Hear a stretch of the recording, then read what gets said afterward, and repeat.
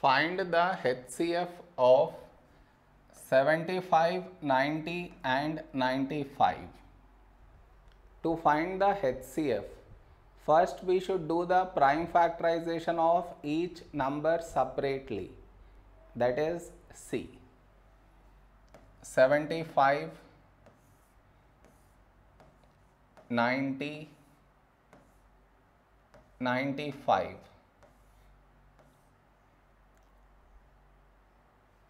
Okay. Next.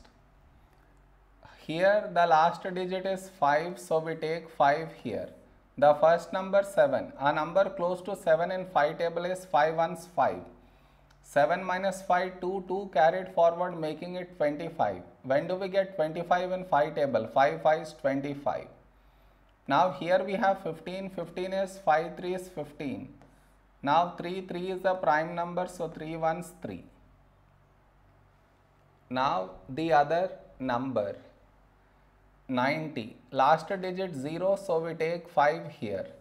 The first number 9 a number close to 9 in 5 table is 5 ones 5. 9 minus 5 4 4 carried forward making it 40. When do we get 40 in 5 table? 5 8s 40. Now here we have 18 18 is 2 9s 18. 9 is 3 3 is 9. Now we have 3, 3 is a prime number, so 3 ones 3. Now the other number, 95 last digit 5, so we take 5 here. The first number 9, a number close to 9 in 5 table is 5 ones 5. 9 minus 5, 4, 4 carried forward making it 45. When do we get 45 in 5 table? 5 nines 45. Now here we have 19, 19 is a prime number so we take 19 ones 19. So now our HCF is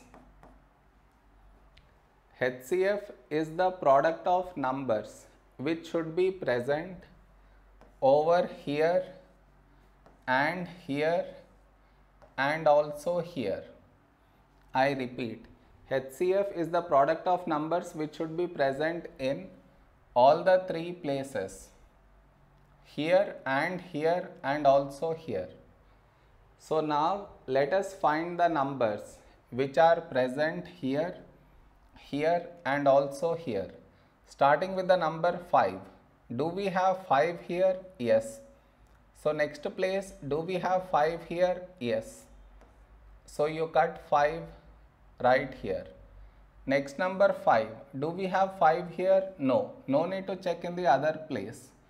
Next number 3. Do we have 3 here? Yes. So next place. Do we have 3 here? No. 3 is present in only 2 places. Whereas to write a number here 3 should be present in all the 3 places. Since 3 is not present in all the 3 places, we should not write here. Understood? Next.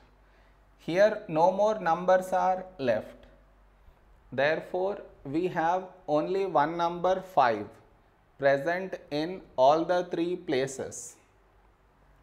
So 5 itself is our HCF. I repeat, we have only one number 5 present in all the three places. So 5 is our HCF. Am I clear?